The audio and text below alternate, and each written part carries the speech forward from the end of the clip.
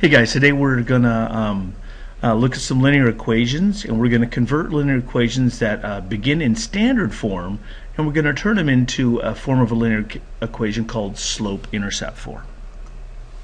So standard form is something like this. This is an example of a linear equation in standard form.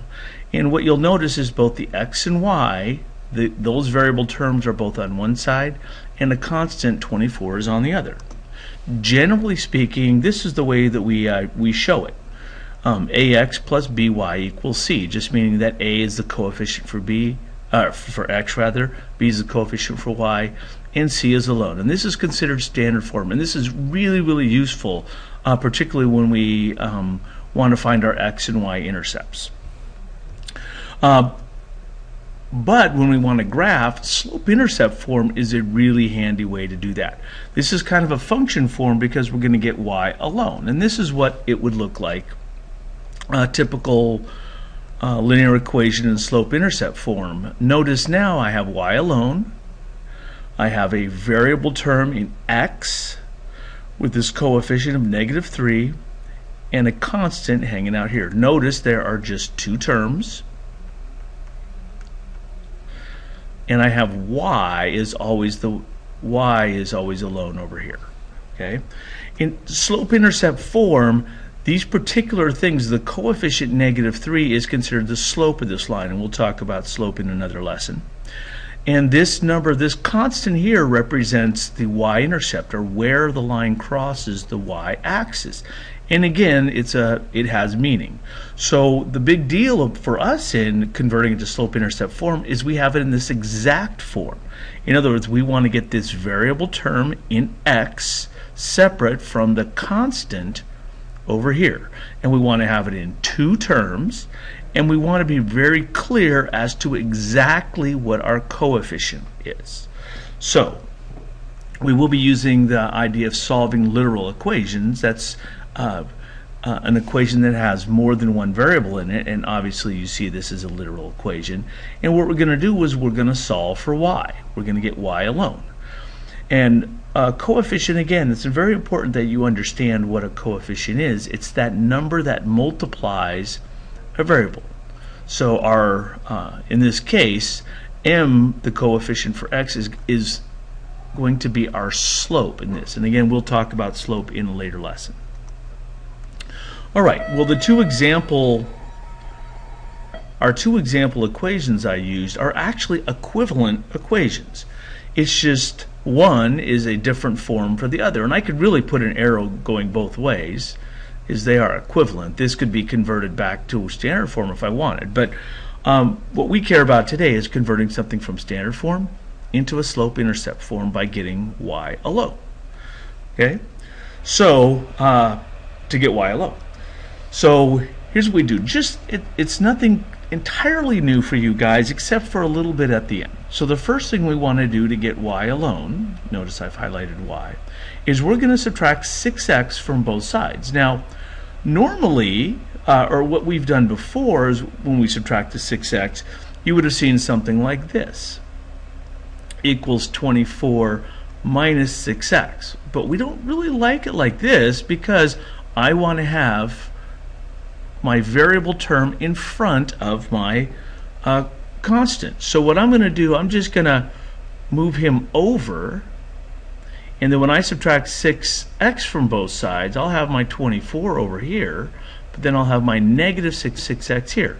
Commutative property, because we are just adding these two terms, means I can do it in any order. And this is the order I want to do it. I want to have my variable term in front. Now once I get that, to get y alone, we're going to divide by 2. Now before we've done something like this, we divide this whole side by 2, which is entirely algebraically correct. And before, this would have been our perfectly fine answer. However, now we want it in slope-intercept form, so I want this to be two terms. So what we're going to do is, like when we came over here and divided by 2, really, since we're dividing this whole thing by 2, in a way, we're supposed to be dividing every term by 2. In other words, this negative 6x is being divided by 2, but also 24 is being divided by 2. So it will look something like this. Now in each term, we would just simplify. Negative 6 over 2, well, that would just be a negative 3. Uh, 24 over 2, well, of course, that's just 12. And that's how we get our forms the same. So this new form, this would be considered the linear equation in slope-intercept form. Okay, so let's try a couple. Okay. Take a second and go ahead and convert uh, that x minus y equals 3 into slope-intercept form. Okay, again, we want to get y alone. So I have to get everything else on the other side, and I have to have um, a certain sequence for that. So uh, the first thing I'm going to do is I'm going to subtract this x off of both sides. But remember, I'm going to move this guy over because what I want to do is have the variable term in front of the constant. So notice I just scooched him over and subtracted x from both sides. But y is not alone right now. Right now we have a negative 1y. So if I want to get it alone, I'm going to have to divide by negative 1.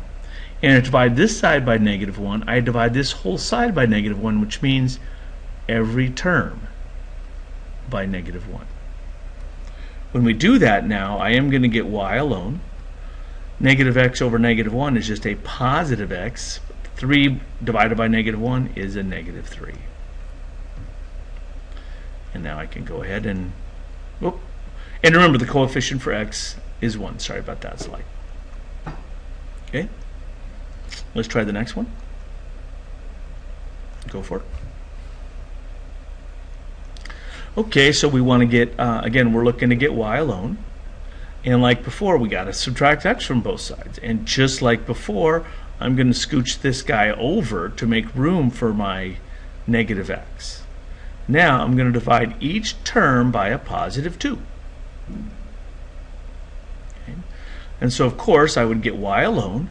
I'd have negative x over 2 plus 5. Now one thing, there's a problem here. Some students would have a hard time understanding what the coefficient is on this. Well, understand that a negative x over 2 is the exact same thing as negative 1 over 2 times x. So really in this situation we want to express any sort of fraction like this because then we know very specifically what the coefficient is. And remember, the coefficient is important because that represents our slope. So the correct way to write this in slope-intercept form is y equals negative 1 over 2 x plus 5. Okay. Why don't you try this one on your own? Okay. Again, we're trying to isolate the variable y on this one, so we're going to get rid of our 2x, subtracting 2x from both sides. And again, I'm going to move over my coefficient. Now that I'm here, I want to divide up both sides by negative 6. So I divide this side by negative 6, and I divide every term in this side by negative 6. Of course, this cancels to 1 over 3. 12 divided by negative 6 is 2 and I get my linear equation in slope-intercept form. Notice my slope is 1 over 3 and my y-intercept is considered negative 2. Okay, give that one a shot. Alright, um, I hope you took a look at this and thought, hmm, I don't like this uh, uh, denominator at this point, so I'm going to go ahead and clear the fraction. So I'm going to multiply the whole equation by 3. Now when I do that, of course here I'll get 6x minus 1 equals a negative 9. And I want to get y alone. I subtract the variable term 6x from both sides. I'm going to move my constant over and now y is not alone. It has a coefficient of negative 1. I'm going to divide every term by negative 1.